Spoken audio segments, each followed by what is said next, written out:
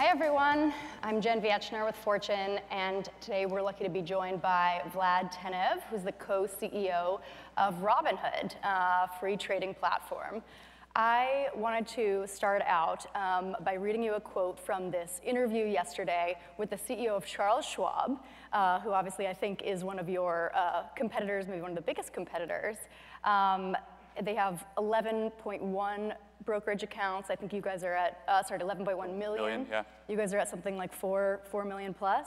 Um, so he was asked, uh, they recently lowered their commission trading fees from 895 to 495, and he was asking how that pricing model holds up today given the rise of Robinhood and other free trading platforms. And here's what he said. No one does trading for free. It's just a matter of how you're paying for it. If someone offers trading at a $0 commission price, then they're simply making it up in other manners. To say you're doing a trade for free is just disingenuous. If you're buying one share of Apple, maybe you don't care that your execution quality isn't the highest it could be.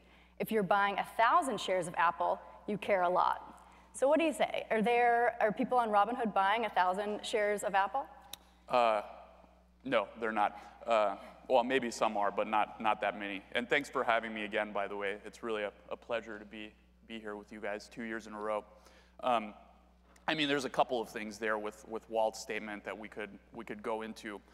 One is just the first thing you pointed out. Um, yeah, if you're buying a thousand shares of Apple, I mean, that's like a $200,000 transaction, right? And I, I agree that if you're making a $200,000 transaction, a 495 trade commission is, um, is maybe not super relevant because that's just a, a very, very small percentage. But the fact is, a very, very small percentage of people on this planet make $200,000 trading transactions in one go just like that.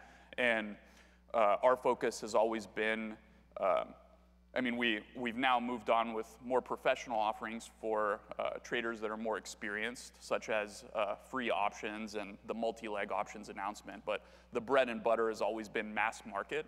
And the mass market um, can't afford to, to be making 200,000 uh, $200,000 transactions like that. I think a typical transaction for someone that's just getting started or is at the beginning of their career where maybe they don't have the, the earning power as someone who's in their 50s or 60s, um, those transactions can be in the tens, hundreds of dollars. And at that point, a 495 commission um, is, is very significant. It's double digit percent of the total, the total cost of that trade.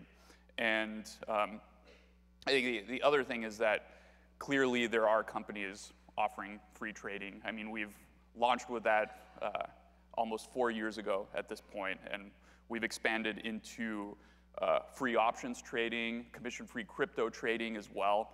And a lot of people didn't think these products would be would be possible either. Um, think when we launched free options trading, it surprised a lot of people in the traditional brokerage community because options a big moneymaker. I mean, you get charged twice for every options trade, one for the transaction and then an additional per contract fee. So some of the more active traders are paying you know, hundreds of dollars to thousands of dollars in commissions per day if they're, if they're doing active options trading. So um, yeah, I, I think um, we've, we've dramatically lowered the cost um, across all three of these different products where frankly customers were getting ripped off in the past. And making it up, making up for it in other ways is also not accurate because companies operate at a certain margin and what we've effectively done, if you kind of look at it top down, is we've compressed that margin by more than an order of magnitude. So we're still, we're still making money, we're just making a lot less of it um, than our competitors per customer. Um, and we're making up for that with lots more customers, much more efficiency. Um, we don't operate fax machines, we don't use a lot of paper, um, whereas some of these legacy brokerages are running on paper and fax machines and have legacy mainframes that, that have been uh, sort of operating their business for, for many, many decades. So there's no catch here. He seems to imply that you know if you're giving trading away for free and they're not, then you know there's some uh, downside or you know some hidden fee or something like that. But you're saying really. I mean, I think the, the, this business, in, in a sense, is about as transparent as, as, as it can be. I mean, you can deposit money, you can put in an order to buy stock, you can even put in a limit price, which um, uh, says, I don't want to pay more than this amount per share of stock, and you can do the math yourself. Uh, there's really not too many places that, that, that this can happen. And it's also a very, very highly regulated space. Um, and as a broker dealer, there's all sorts of regulations that we have to abide by that not just say that we have to uh, treat customers' uh, orders and, and route them and get them the best price, but we have to look at all possible market centers and exchanges and make sure the customer gets that price or even better. Um, so actually, customers through Robinhood are guaranteed to get at least as good of a price, if not better, than if they were to route directly to the exchanges. So if all that's true, I mean, do you think Schwab? They say now they're not competing on price, but eventually, if you know, as you grow, uh, you know, and as this market expands, do you think Schwab will be, you know, and others will be forced to get rid of commissions altogether? I mean, is that going to go away? Uh, so you mentioned that they they lowered their prices to I think 4.95. Um, our assumption is that the industry is not going to stay still. Um, people are going to be forced to lower their prices in order to survive. So we're assuming everyone's gonna gonna gonna try to to compete on price at some point um, because um, there's there's just a few things that customers really care about in financial services. They obviously care about uh, the customer experience and the ease of use, and we we compete. Uh, we have really the best product in class in terms of those qualities, but they also really care about the price. I mean, you're you're buying a financial instrument uh, and you're investing your money, a lot of that is, is, is driven by what type of fees you're paying. So if we do see this, you know, competition on price, does that just mean that the brokerage industry becomes less profitable over time, and it's never going to be, you know, the kind of cash cow that it used to be? Um, I think that there's a couple of things that that are going to happen when uh, when when the brokerages start lowering their prices. Um, one is that they're going to have to get more efficient, um, which is, is going to be challenging because they've been sort of operating under this principle that they can charge exorbitant fees for decades now.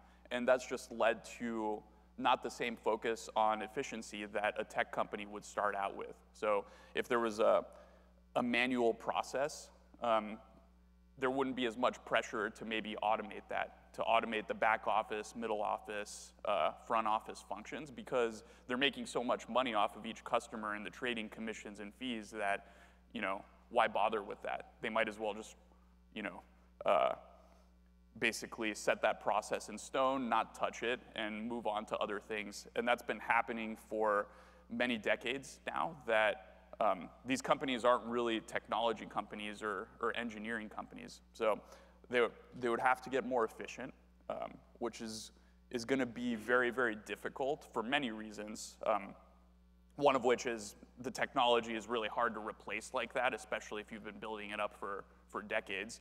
The other is it's going to require, um, you know, potentially laying off lots and lots of employees. Um, and that's very tough. It's, it's a very, very hard thing to do. Um, and it's hard to do when things are, are going well as well, because you kind of look at it and you say, um, why, why would we do this? Like politically, it's a very dangerous thing to do. Um, so that's going to have to happen. And um, they're going to have to, the legacy players are going to have to figure out how to attract the best talent. So right now, if you're uh, a really high quality computer science graduate or you're interested in going to, into a product role or maybe you're working at a Google or Facebook, you're not really considering a move to a discount brokerage or a bank as, uh, as a viable career move. Not a lot of people are, are making that type of transition. And so um, it's tough for these companies to get the top quality talent. Are you profitable right now, can you say? I can't talk about uh, our profitability, obviously, as a private company, um, but we've been growing really, really quickly. We've been uh, expanding into uh, different business lines, And um, I'm sure you've seen, but we closed a few months ago uh, our Series D round of financing. So the, the company is well capitalized to, to fuel our further expansion. It was a $363 million round, valuing you guys at 5.6 billion, is that right? That's right, yeah. Do you guys have, um, you know, any, any targets that come with that in ter- in ter- as far as, you know, when you'd like to be profitable, I guess, or if you can't say, or, you know, how many years maybe until uh, we could see an IPO, if that's the end goal? We don't have any targets. I mean, we're, we're obviously thinking about all these things on, um, on a regular basis, um, but the, the primary focus is just on rolling out new products and uh, building, building our customer base dramatically. It's over the past six months, uh, we've done a lot of those things, and you can see kind of where our focus lies. We were available only on mobile um, up until very recently, and we launched web in November free options trading, like I mentioned, um, in December. And that's just been a, a massive uh, development. I mean, we've been growing so quickly. It's exceeded even our most optimistic, uh, optimistic projections about how well the options business could do. Um, and we're now already one of the largest options brokers in the world. And then free crypto, where we had over a million people join the waitlist in the first couple of days. Um, so yeah, if, if we think about things that could build value in, in our business, which is fundamentally a long-term business, um, we're sort of laser focused on, on new products and, and growth opportunities.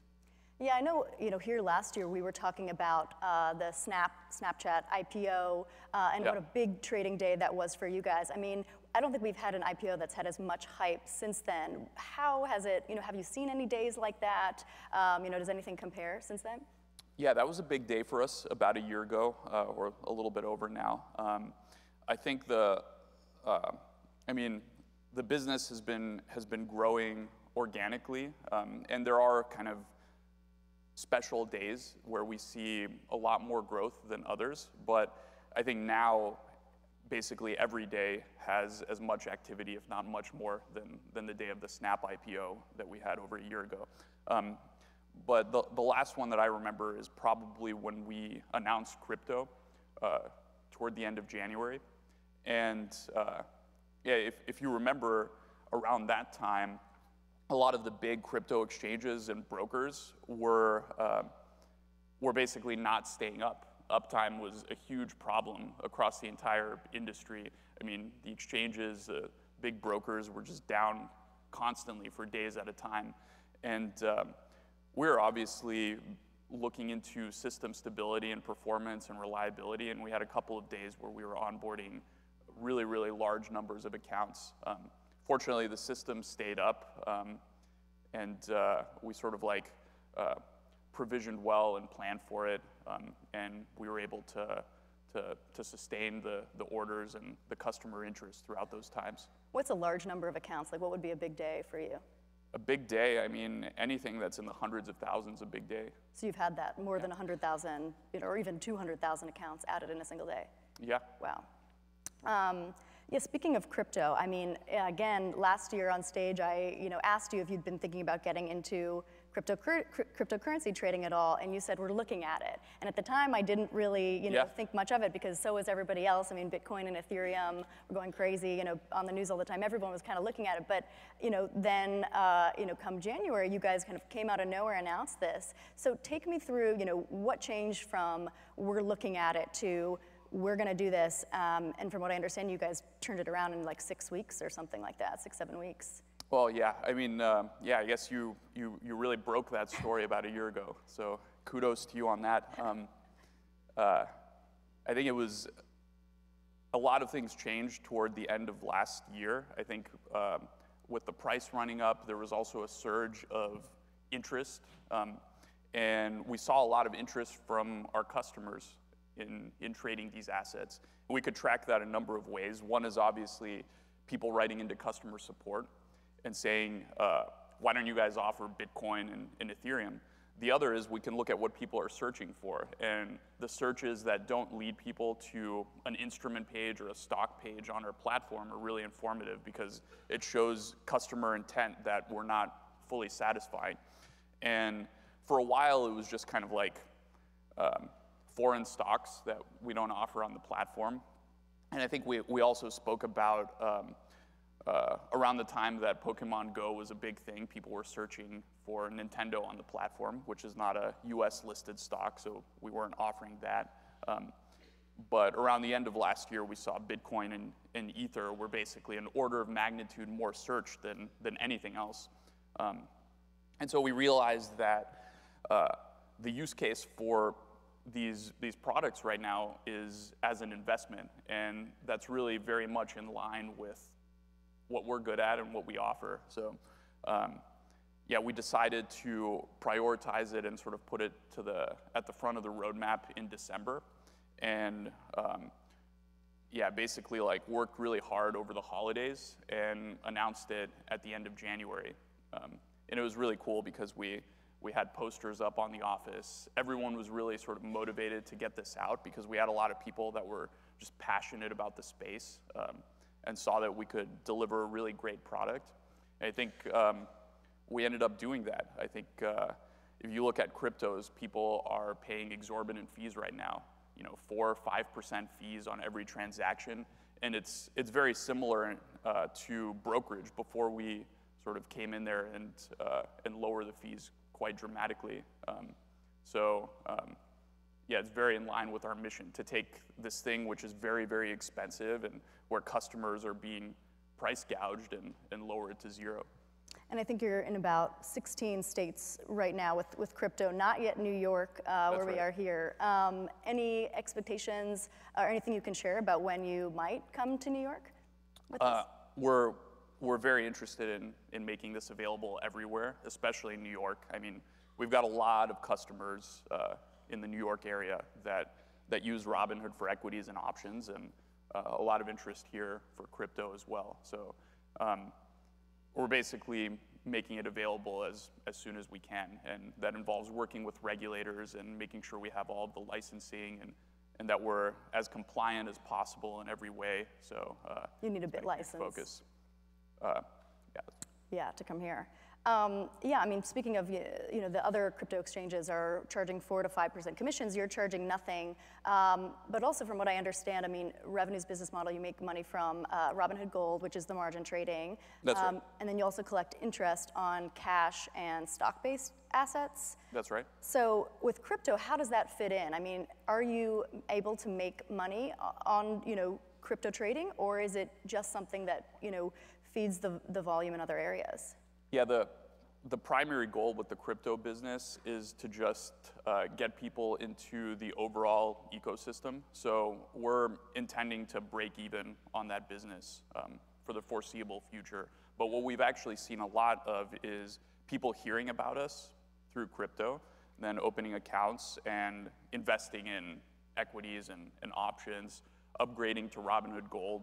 People that are really into crypto uh, also discover all these other instruments and assets and, and become uh, sort of customers of the entire Robinhood ecosystem. So when you launched also the crypto trading, it was in the midst of a sell-off. I mean, uh, Bitcoin is down about uh, you know more than 50%, uh, maybe almost 70% now since you actually made the decision to to get into this. Did that come as a surprise for you? Did it shake your confidence at all in, um, gosh, maybe we really picked the wrong time to get into this?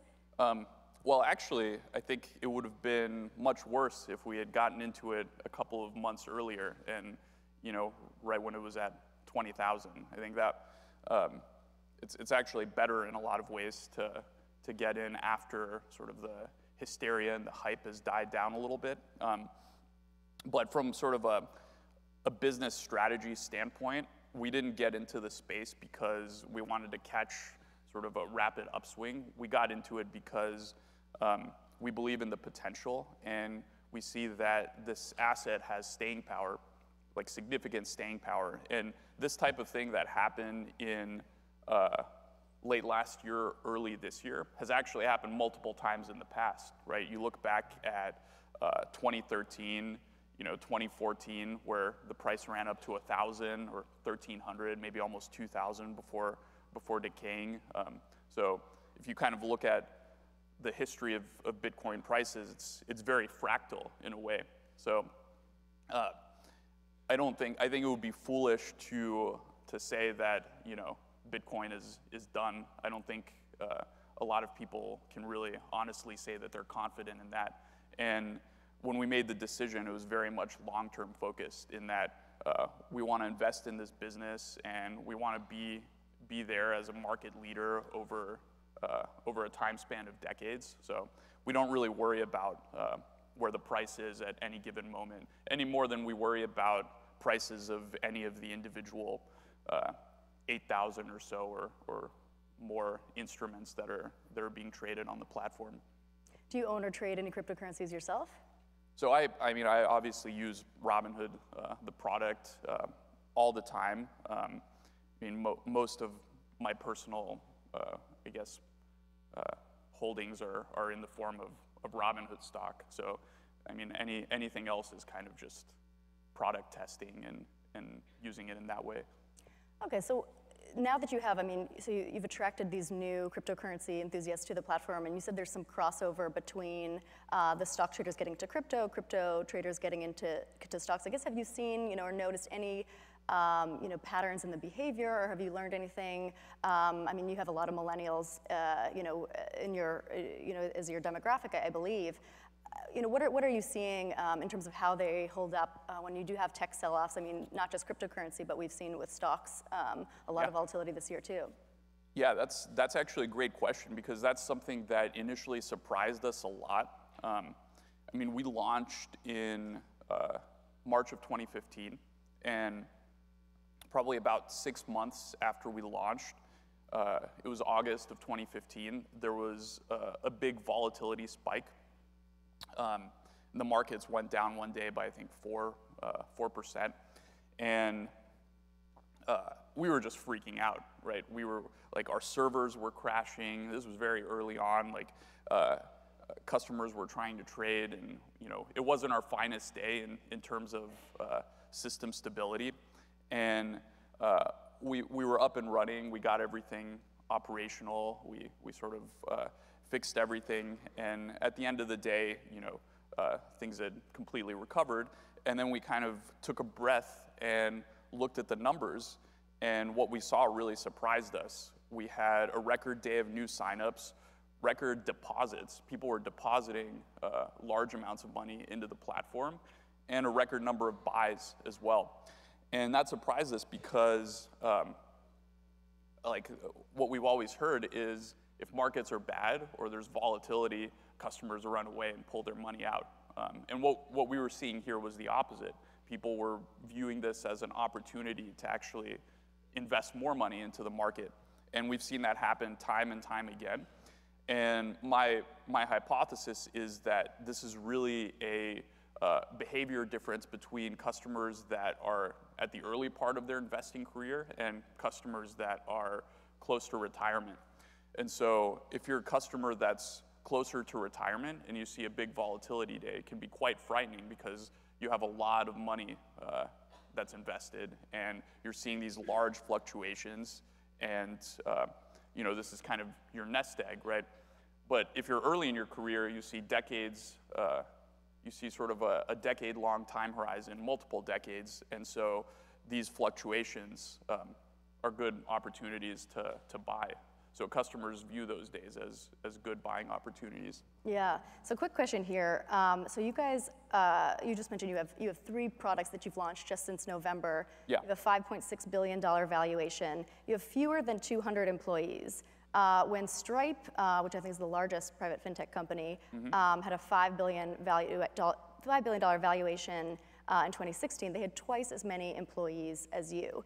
Right. What's your top you know, what would you say is the, your secret or, or your, the most important piece of advice you have for squeezing productivity out of a relatively small workforce? Yeah, that's, um, that, that's a tough one. You know, I, I think we've always been very frugal. It's one of our, one of our core company values to be frugal and, you know, not, not waste money on sort of unnecessary things. We also really like to start things out um, sort of with low resources. So what would be very, very antithetical to Robinhood is um, like hiring hundreds of people to begin a new business division. Um, or making a huge capital investment of any kind without sort of proving that, that it works on a small scale. So in, in sort of adopting this model, um, we, we force ourselves to, to be leaner than, than other companies because we like to start things out very, very small and invest in them as they, as they grow bigger very, very organically. Um, and I think that frugality as, as a big value, plus uh, sort of this approach to new products, has been, um, has been effective. And it also comes down to the people. I mean, Stripe, Stripe has fantastic people, obviously, and they're also quite small given the company value. Um, but if you look at a lot of these uh, legacy players in financial services, I mean, they have, you know, um, they, they, they don't typically hire the most high growth, high potential talent, um, with exceptions. Obviously, there's great people there as well, but um, our goal is always to have a small number of really, really talented people than you know, a large number of mediocre or, or less talented people. So we're pretty much out of time, but just to do a quick lightning round of this overrated, underrated game. uh, so I'm going to read them. You say overrated, underrated, and then just one, you know, quick reason why. Okay, that's fun. New York Stock Exchange. Uh, New York Stock Exchange. Uh, I would say underrated.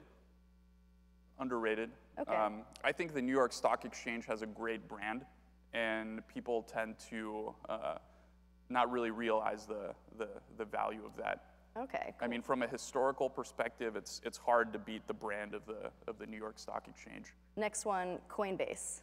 you guys are in a bit of a rivalry.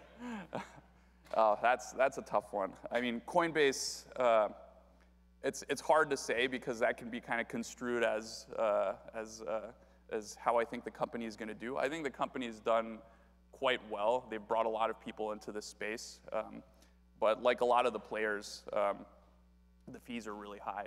So overrated? Fidelity. Um, oh, this is free uh, you're, you're, you're killing me here. Um, uh, look, I think Fidelity is, uh, I mean, Fidelity, uh, Okay, how we don't, we don't really have anything against Fidelity. I think they do, they do, they have reasonable products. Um, but yeah, they're a legacy player and they, they hire a lot of people and they're not really, uh, they're not really a technology company. They're very, very different than us. one more? Ethereum. Overrated, underrated. Uh, that's also a really tough one because I can't, I don't think I'm allowed to, uh, to, to speak about different assets. Um, How about blockchain in general? Um, I think blockchain as a concept has sort of uh, has sort of become a little bit overrated because people are creating companies with the specific goal of sort of latching onto the the blockchain hype. Um, and I really think there's only been a couple of actual use cases that uh, that have proved out in blockchain so far. So I think there, there's a lot of things that people are trying to latch blockchain onto that don't really need you know, decentralized, distributed ledgers um, where databases would be fine. And so, um, yeah, I, I would say there's a, there's a slight amount of overrated there. All right, well, that's it, everyone. Thank you guys so much, and thank you so much, Vlad, for joining us. Thanks for having me.